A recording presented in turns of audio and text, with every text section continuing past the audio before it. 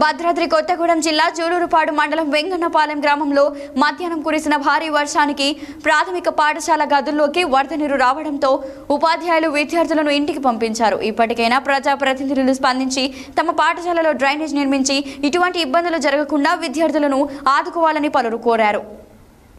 భద్రాద్రి కొత్తగూడెం జిల్లా జూలూరుపాడు మండలం వెంగన్నపాలెం గ్రామంలో మధ్యాహ్నం కురిసిన భారీ వర్షానికి ప్రభుత్వ ప్రాథమిక పాఠశాల గదుల్లోకి వరద నీరు రావడంతో ఉపాధ్యాయులు విద్యార్థులను ఇంటికి పంపించారు.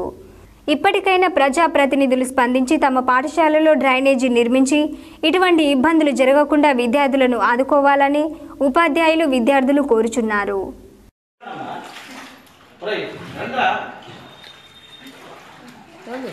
అట్లా సార్. సార్ ఒక్క నిమిషం మేడం అనుకుంటున్నాను.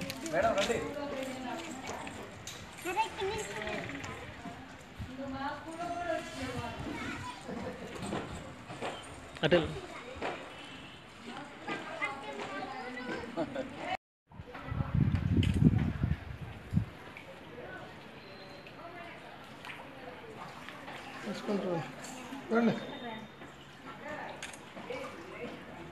వచ్చేయండి